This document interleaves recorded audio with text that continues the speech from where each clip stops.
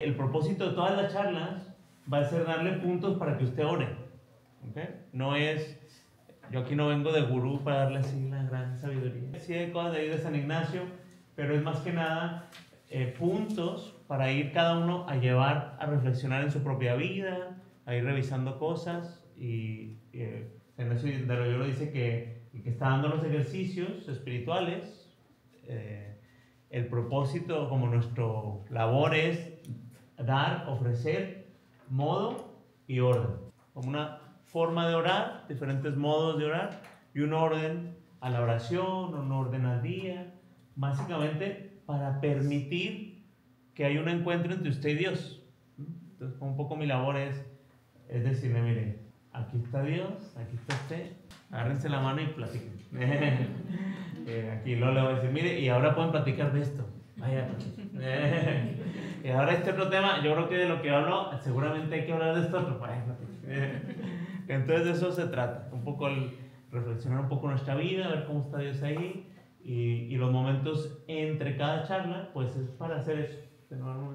Ya mucho de eso, pues lo que nos ayuda es este, estas hojitas, ahí todo está, muchas instrucciones, y, y lo leyendo va uno viendo pues cómo ir avanzando. Y yo voy a hablar aquí de cómo sabe. Eh, yo soy el padre Pepe Ruiz, soy jesuita, soy jesuita de la provincia del sur, oeste, sureste de Estados Unidos. Entonces, esa va desde Nuevo México hasta Florida, como la cuarta parte de Estados Unidos. Y, pero no soy, yo, yo, fui, yo nací en Ciudad Juárez. Entonces, a mí me tocó, como es una ciudad frontera, pues siempre pasamos a ir de compras al paso, y ahí me tocó conocer a los jesuitas del otro lado, eh, que mi papá iba a ver a, a, un jesuita como director espiritual. Entonces yo ahí como que, con este jesuita como que yo me di cuenta ahí que, que era como diferente a los otros padres. Por un lado, pues un poco como yo, no trabajaba ese padre en parroquia. Y yo decía, ¿esto qué raro? ¿Este qué hace? Tenía un centro que ayudaba a los más necesitados y daba retiros. Por ahí fue que comenzó ahí a observar y pues con el tiempo hice mi discernimiento también con los maristas que estaban ahí en Ciudad Juárez, y, pero no, los jesuitas fue el último lo que, lo que más me llamó. Y por aquí ando. Algo que yo veía mucho, y pues aquí se confirma, ¿no? Es que eh, pues mucha gente en Estados Unidos que habla español y que no hay suficientes sacerdotes, ¿no? Que atiendan en español, que atiendan la cultura. Entonces, pues yo veía eso y, y pues ha sido algo muy bonito a andar por todos lados acá en Estados Unidos. Mi formación fue primero en Luisiana. Tuve dos años cuando llegó el huracán Katrina y nos tocó ahí ayudar. Yo estaba de recién entrado en jesuita, yo no sabía ni qué estaba haciendo, pero nos paré. y luego me mandaron tres años a estudiar filosofía en San Luis, Missouri. Y luego estuve aquí más cerquitas en Houston, otros tres años en medio de la formación nos ponen a enseñar a dar clases de preparatoria. Y, y ahí estuve enseñando en un, en un high school, una preparatoria. Y después de ahí me mandaron a Boston, Boston College. Y de ahí saqué como la maestría básica en, en, en divinidad. Y luego después saqué otra maestría en acompañamiento espiritual, como el que es esto muy jesuita, que es lo que hacemos así de acompañar en los retiros. Y, y luego ya pensé que había terminado y me pidieron que hiciera otra maestría. Como ridículo. Y la tercera fue en espiritualidad ignaciana, que en realidad pues me encanta. Por todos esos lados anda. Ah, y esa fue en España, que gracias a ya me tocó algo en español. Y pues sí, algo que a mí como que siempre pienso es como que todo eso que aprendí, al final, lo que el aprendizaje más grande es que no era nada de eso importante. que lo importante en un retiro pues es el encuentro con el Señor, que no se necesita mucho para lograr eso bien y que cae siempre mi papel, pues es como quitarme, pero no, no estorbar. Es eso que dice San Ignacio, ¿no? Poner a la criatura con su creador, es el propósito de los ejercicios espirituales. Entonces, pues a eso es a lo que venimos, a estar con Dios. Estar con Dios es algo en realidad de lo más sencillo y también de lo más difícil. Lo más sencillo, estamos hechos para eso, estamos hechos para Dios, Dios nos hizo, se nos da natural, ya lo estamos haciendo, a veces lo hacemos sin darnos cuenta, estamos conectados con Dios. Y a veces también se vuelve lo más difícil, porque nos hacemos bolas, porque batallamos, porque nos metemos en el proceso. Y pues un poco a lo que venimos aquí en Retiro es como a reconectar con eso bien básico, que es ser hijos, hijos de Dios, eh, que está a lo más profundo de lo que somos, y más que nada es como pulirlo, dejar, dejarlo que, que salga, ¿no? Eso es un poquito de mí. Hay algunas cosas que San Ignacio pone al comienzo de los ejercicios espirituales que, pues, que nos ayudan como a ir, a ir comenzando en este proceso de retiro, ir entrando en el silencio, ir entrando en, estos, en este tiempo con el Señor. Entonces, algunas anotaciones que San Ignacio eh, pone como para ponernos de acuerdo eh, qué estamos haciendo. Y lo primero es el nombre que San le da a esto que estamos haciendo, que son ejercicios espirituales. A veces yo creo que mucha gente lo ha oído mucho como los ejercicios espirituales y, y pierde la frescura que en su momento tenía. De esto es como decir, es un, un workout espiritual. Son ejercicios como del cuerpo, es la analogía de hacer ejercicios del cuerpo, pero espirituales. Porque uno necesita moverse y usted dice, no, yo a descansar en la cama. Cinco años, le van a salir ya, eso no es bueno. Uno cree que muy bueno es un problemón, pero igual al, al alma, ¿no? Si digo, no, yo no necesito yo soy muy santo. y un poco, pues el cuerpo necesita moverse para estar saludable, toma esfuerzo, le hace mucho bien a uno, y eso es de lo mejor ir a una caminada, pero ahora me topé un, un video de TikTok de una muchacha que todo lo que hace son videos de cuánto voy a ir a caminar. y, decía, otra vez, ahí voy a mi mugre caminante para mi mugre salud mental. Pero siempre adelante me no, un pajarito, sí está bonito. Se pues lo hizo bien, ¿no? Y entonces, eh, pues también esto tiene muchas analogías. Ah, va a haber un elemento de lo que vamos a hacer que requiere un poco de esfuerzo. ¿no? Es como decir, si abro el TikTok, porque la luz y los sonidos y las historias como que me mete en, en algo que es como que me pierdo y la dopamina se me da y, y como que no necesito hacer nada, ¿verdad? Al rato me lastimó el dedo de tanto que le diré. Pero, pues, eso es como una forma muy fácil, muy común ahora en día, como de distraernos. Y entonces, ¿de qué me estoy distrayendo? A veces son de cosas incómodas que traigo en la vida, a veces son de cosas difíciles, a veces son de conflictos que traigo no resueltos, a veces nada más es de, pues, que, de, que está difícil ser humano, ¿no? E integrar lo que estoy viviendo. Y, y entonces acá venimos a poner eso a un lado y a ponernos en contacto con nuestra vida interior.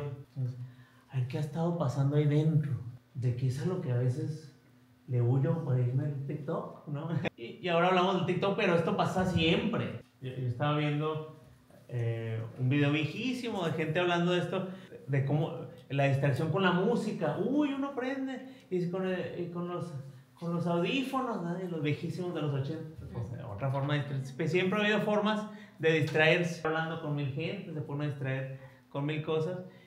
Y, y también siempre ha habido una necesidad del ser humano de revisar como qué me está pasando interiormente. ¿Cómo hago sentido de todo esto que de repente se mueve para aquí, luego para allá. Eso es a lo que venimos y eso toma a veces esfuerzo. A veces como que es más cómodo eh, eh, distraerme, pero es igual que el cuerpo, puedo decir, pues es más cómodo acostarme, pero en realidad, si me quedo mucho tiempo que está ya no ni lo disfruto.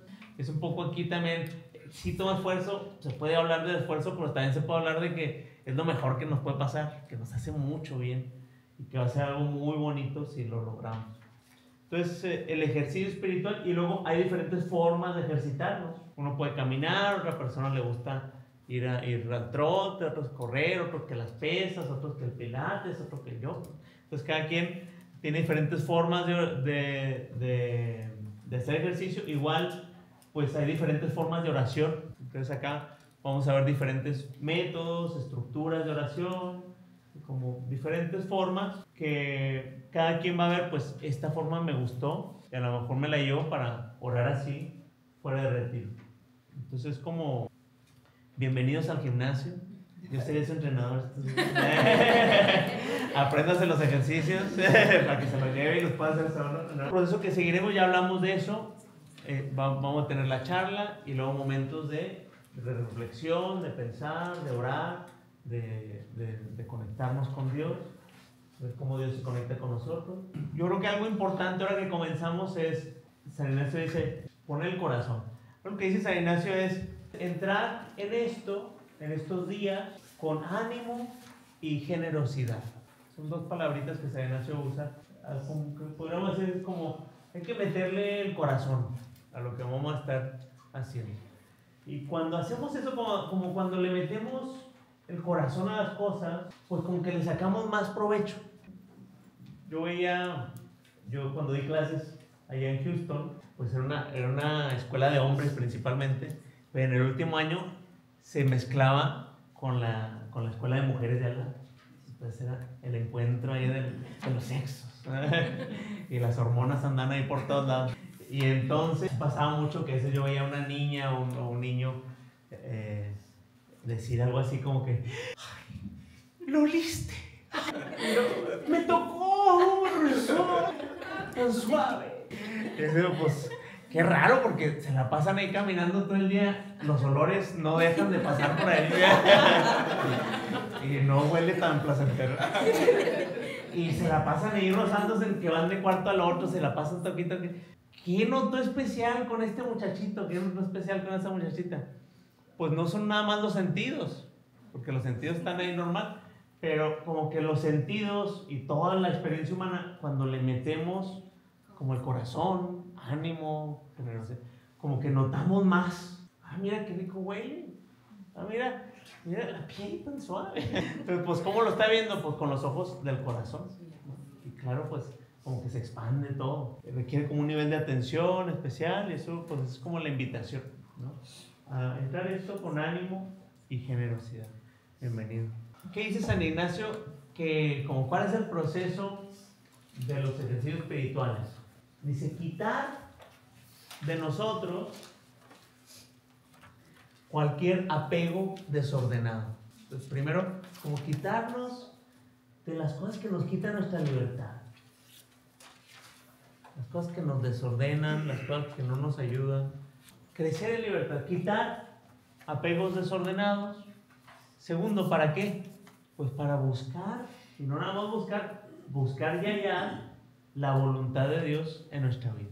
Entonces son como dos movimientos muy importantes que en cada retiro están pasando de diferente manera. Pues primero quitamos de nosotros esas cosas que no nos dejan avanzar, que no, y no nomás por, por buscar una perfección o algo, no, pues para poder avanzar en seguir al Señor, en poder ver que me está llamando en mi familia, en mi trabajo, eh, con mis hijos, con todas mis relaciones, ¿no? Entonces, eh, pues eso es como el, el proceso principal de los ejercicios espirituales, es, es eso, un poco descubrir nuestra libertad y que hay cosas que hay que liberar, soltar, para escuchar la voluntad del Señor. Y por último, San Ignacio habla del presupuesto, que San Ignacio lo pone así, dice, se presupone que todo buen cristiano ha de tratar de salvar la proposición del prójimo. Vamos a pensar. Todo buen cristiano debería tratar, al menos, de interpretar lo que el otro dice de buena forma. Tratar de salvar la proposición del otro. Yo creo que eso, si lo aplicáramos en nuestras relaciones, sería tremendo. Porque mucho de lo que pasa hoy en día, con todo esto de la polarización, con todo esto que ha pasado en los medios, la politización de todo, ¿no? ¿Qué está pasando? Pues que si yo ya pienso que el otro es del otro lado, ya, ya ando viendo cómo, cómo le busco lo que, lo que anda mal, ¿no?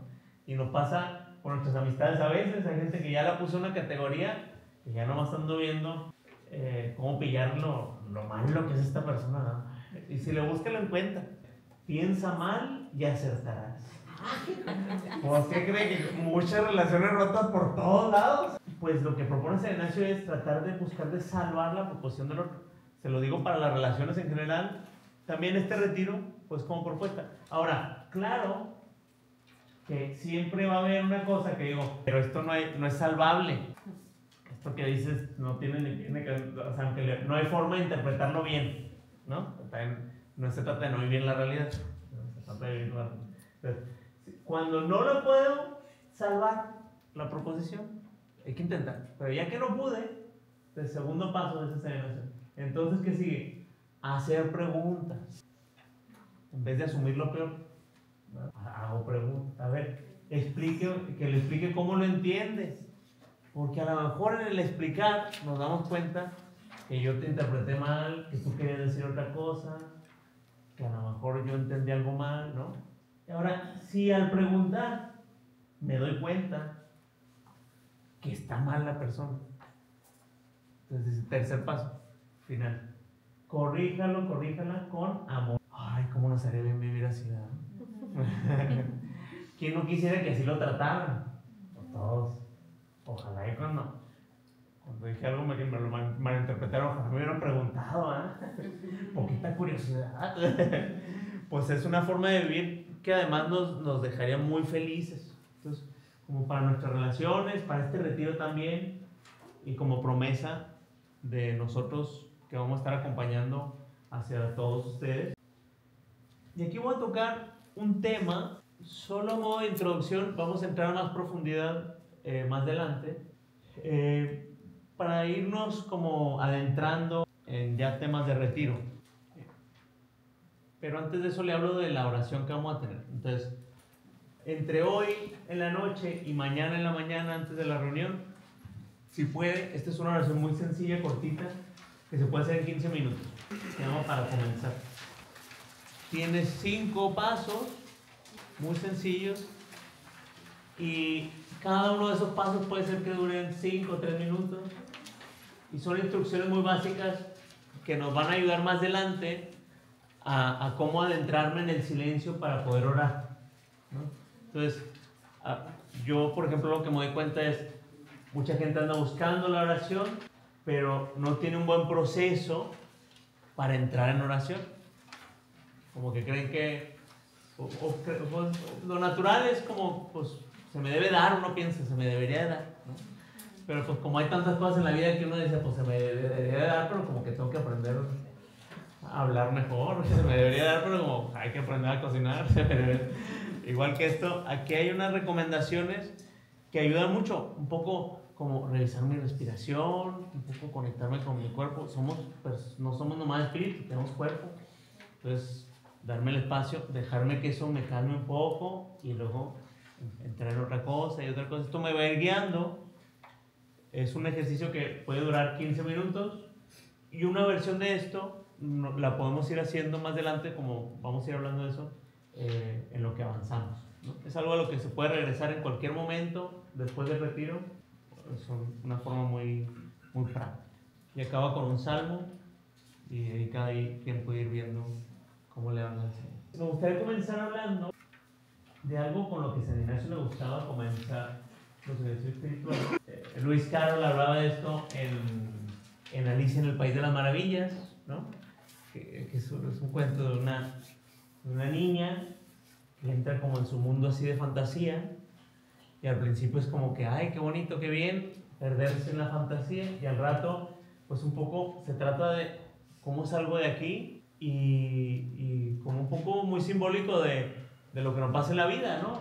Que cómo maduro en mi vida, cómo crezco, cómo desarrollo eh, quién soy, pues un poco para salir de esas cosas de niñez hay que salir de otras. Y algo que en ese proceso, pues a veces hay como encrucijadas de la vida, que estamos siempre como un poco en ella, donde pues, nos podemos sentir medio perdidos, ¿no? En el- nada más en el avanzar por la vida. Es el momento en esa novela, que está la caricatura de Walt Disney, donde ya está ya cansada de las formas de vivir anteriores, de las formas infantiles de vivir la vida, y ya se quiere salir. Problema que no sabe cómo. Y llega a un espacio donde hay muchas opciones. Es por aquí, por allá, por acullá, aracutoyá. Y ella como que, pues, en la desesperación suelta a llorar. Y el gato este se le aparece, gato sonriente, y le pregunta, ¿por qué lloras? Y él le dice, pues, porque quiero salir de aquí Y el gato le dice, ah, pues eso depende a dónde quieres ir. Y él le dice, no importa, yo solamente quiero salir de aquí. Y él lo que le responde es, ah, pues si no sabes a dónde vas, cualquier camino te lleva ahí. Y se le agarró. Que, pues lo que, como va sintiendo ella, es precisamente que ya me fui yendo por donde me lleva la vida y no me está llevando a buen lugar. Entonces, como que necesito más dirección. Y, y eso es un poco lo que nos, nos venimos cuestionando, pues siempre estamos en retiro, ¿no? Hacia dónde vamos y que pues, nomás agarrarnos a caminarnos siempre es la mejor decisión. Y algo que San Ignacio nos ayuda a preguntarnos es como tres preguntas importantes en nuestro caminar así de, de vida. Primero, pues ¿cuál es el fin? ¿Cuál es el fin de mi vida? ¿A dónde voy? Segundo, ¿cuáles son los medios? Y tercero, ¿cuál es la dificultad para lograrlo? ¿Cuál es el fin? Pues para una persona que está aquí en un retiro, que creemos en Dios, pues yo creo que el fin se nos, se nos clarifica cuando lo pensamos así, tomamos la visión más amplia y es como que pues fuimos creados para Dios y vamos a estar con Dios por siempre y como que el fin es estar con Dios. ¿no? San Ignacio nos da tres actitudes. Alabanza, reverenciar, alabar, reverenciar y servir. Otra, otra cosa que dice el catecismo de la iglesia es amarlo, servirlo, conocerlo. Pero por ahora, después vamos a entrar más a eso, pero por ahora, pues podemos quedarnos con eso. ¿Cuál es el fin? Un poco Dios, estar en relación con Dios, en el amor, y eso implica, pues, estar en relación con mis hermanos también en el amor. Y, y por ahí va como el fin de la vida, tiene que ver con la alabanza, la reverencia, el servicio también, que es la alabanza eh, reconocer los dones de Dios en mi vida con los demás es reconocer la bondad en los demás. Eso nos da un sentido de, de vivir. O sea, ¿qué significa vivir en el amor? Se necesitan tres actitudes: alabanza, reverencia y servicio. Pero la alabanza, ¿qué es hacia Dios? Pues reconocer lo bueno. Es una forma de vivir en el amor, es reconocer lo bueno en los demás. Eso nos nos pone como un lazo de mira, te veo, salgo de mí mismo, te reconozco, veo lo bueno, ¿no? Entonces, reconocer lo bueno en los demás y en Dios, alabanza. Que, que, que siempre, que cae siempre también, cuando tenemos una relación de alabanza con alguien, tenemos una apertura a, a una amistad gratuita. Cuando yo veo lo bueno en los demás, como que se me antoja pasar tiempo con ellos. Cuando veo lo bueno en ti, quiere decir que, que, que vale la pena estar contigo. Eh, entonces, la alabanza es eso. Que siempre cuando viene el conflicto en la vida, cuando viene el estrés en la vida, cuando viene la ansiedad, es de las primeras cosas que se van por, por, por la borda. Ya no puedo ver lo bueno en nada. Pero si hay gente buena, sí, pero yo no, pero a mí todos me tratan, se me hace un, me, que me ahogo, me siento que me ahogo en un vaso de agua. ¿Por qué? Pues porque algo me está bloqueando, no estoy logrando vivir en el amor. Entonces, el primer, la alabanza es lo primer, de las primeras cosas que se hago. Segundo, la reverencia. La reverencia hacia Dios. ¿Qué es? Pues reconocer que Dios es más grande y que Dios no lo puedo controlar. No lo, no lo puedo poner en mis cajitas. Entonces, cuando hablamos de reverencia hacia Dios, cae siempre el Señor, tus planes, tu grandeza me sobrepasa, o sea, que Dios es más grande que mis ideas de Dios. Siempre tenemos que estar un poco abiertos a que mi idea de Dios siempre va a estar más limitada de lo que es. Entonces, poco eso venimos a retiro a entender mejor un poco a esto que es que siempre se nos va a escapar, pero se vale, conocerlo mejor se puede, sí. Pero luego, ¿qué significan las relaciones? La reverencia pues también que el otro, mi amigo, mi pareja, mi jefe, mi fulano, fulana, se me escapa también, que no te voy a entender, que no te puedo poner mis cajitas. Con Dios, pues siempre Dios es más grande. Con el otro es nada más el reconocer y aceptar la diferencia. que no te puedo hacer más como yo soy, el no tratarte porque nomás me vas a hacer infeliz. A ti, eh, la reverencia hacia el otro es un poco respetar, pues que, que no sé bien qué estás pensando. Yo lo veo mucho como sacerdote, me toca ver a los noviecitos que están a punto de casarse. Y casi siempre lo que dicen es, cuando les pregunto, bueno, ¿y ustedes se entienden, se comunican? Uy, padre, uff, le leo los pensamientos casi. Mire, ella mueve el dedo y yo sé que necesita agua. y se pelean, no, jamás, porque como nos entendemos también, mmm, peligro. Ahí, ahí es la fuente de todos los problemas. Cree que le entiende. Malo. Y luego cuando me toca celebrar ya bodas de 50 años, hoy uno lo contrario. Ya los 50, ya me di cuenta que nunca lo voy a entender. Pero sí lo quiero, pero no sé. Pero lo creo mucho. Ya, yo sé, yo creí que lo conocía cuando me casé, pero cambió y cambió y sigue cambiando. Entonces ya, ya entiendo que no lo voy a entender. Pero bueno darse cuenta.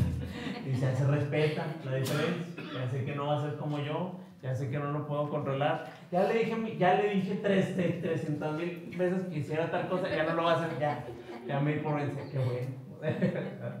De ahí, pues, la reverencia.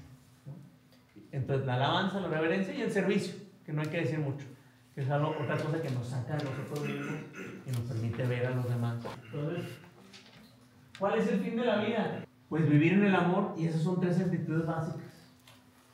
¿Cuáles son los medios? toda nuestra vida. Si tengo una vida, vida larga, vida corta, la salud, la enfermedad, la riqueza, la pobreza, todos estos son elementos de mi vida y una gran situación que nos pasa seguido. Todas las áreas de mi vida son cosas buenas, todo el dinero, la salud, la enfermedad, pero la salud.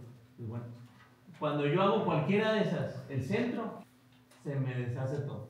Cuando el centro es la alabanza, la reverencia, el servicio al prójimo, a los demás, a Dios, todo se ordena. Cuando pongo una de estas aquí, que me respeten, es el nuevo centro de mi vida. Bendito. Se le van a venir abajo todos los demás. Se le va a venir con eso la familia, se le va a venir con esos dineros, se le va a La salud es buena, Padre. Yo le voy a hacer el centro de mi vida, el fin último. Pues parece buena, hágalo y vea qué pasa. Se le viene abajo la familia, se le viene abajo la vida espiritual. Dicen que los triatlones son los que más demandan entrenamiento. Y se puede lograr un buen entrenamiento de triatlón, pero coincidentemente es lo más demandante que hay físicamente y, la, y el, el, índice de divorcio es más alto ahí que cualquier porque, porque se vuelve como un fin en sí mismo. ¿no? Entonces todo lo demás se empieza a deshacer. Entonces hay muchas cosas en mi vida que a veces yo ando buscando y un poco venimos a retiro a ver cuáles ando poniendo muy en el centro. Qué cosas de repente como que no puedo soltar. Pues es muy, muy importante. Pues tengo que ver, porque se volvió centro, ya, lo estoy, ya estoy confundiendo el fin y los medios. Si el fin se volvió a hacer dinero, cuidado. Ese no es fin, no tiene las cosas para ser fin y va a destruir todo lo demás. Confundimos los fines y los medios. ¿Qué, ¿Qué, hago? Después le digo a Dios, Señor, tú ayúdame a conseguir dinero. Ya lo traigo de medio a Dios. Señor, ayúdame que me respeten. Aquí esta gente, ¿cómo está? Ya traigo de medio a Dios, ¿verdad? Ya ando que me siga Dios a mí. Ya le voy a decir ya yo cómo hacer las cosas, ¿verdad? al revés. Entonces un poco venimos en retiro a revisar qué cosas he puesto en el centro. ¿no? Y ver si traigo el fin último claro, que sea Dios alabanza, la reverencia, el servicio, la forma de relacionarme a los demás y a Dios. ¿Y cuál es la dificultad? Pues la dificultad precisamente es que confundimos los fines y los medios y no, que, no, que no somos libres. Pero es que yo tenía el sueño desde que era joven, tener mucho dinero, retirarme a los 40. Pues bueno, a lo mejor un fin, pero si de verdad no tengo la, la, facilidad de soltarlo y aclararme cuál es el fin último verdadero, pues se me empieza a deshacer todo y, ni eso logro.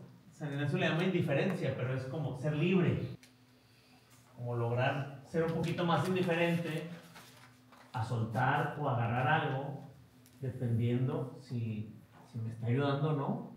O hay cosas con las que no puedo ser indiferente. Esto, esto lo necesito, sin esto no puedo sobrevivir, sin esto no puedo ser feliz, sin esto, eso hay que notar. Algo así, que siempre es que detrás hay algo que estoy agarrando con demasiada fuerza y hay una falta de libertad. No viene uno a retiro para, para decirle, pues todo lo que le da seguridad ya no, ¿eh? a sufrir. No, no. Dios quiere la vida plena. Nomás que hay otra forma. ¿no? Hay otras formas de tener la vida plena sin, sin aferrarme. Entonces, la indiferencia es otra forma de hablar con libertad. Mi relación con el dinero, con libertad. Lo puedo usar, lo puedo usar. Mi relación con mi salud, con libertad. Lo puedo usar, lo puedo.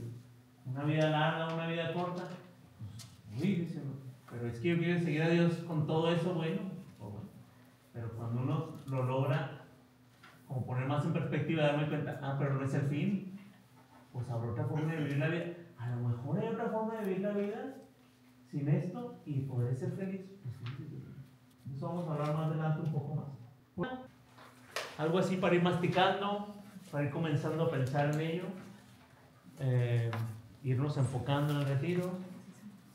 Y pues tenemos esta, la tareita para comenzar. Puede ser hoy por la noche o mañana por la mañana.